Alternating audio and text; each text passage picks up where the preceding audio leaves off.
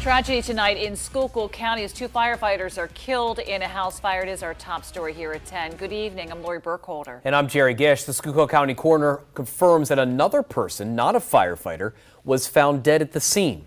The fire broke out late this afternoon on Clamtown Road in West Penn Township near Tamaqua. The firefighters got trapped in the burning home and were rescued, but later died at the hospital. They have not yet been identified.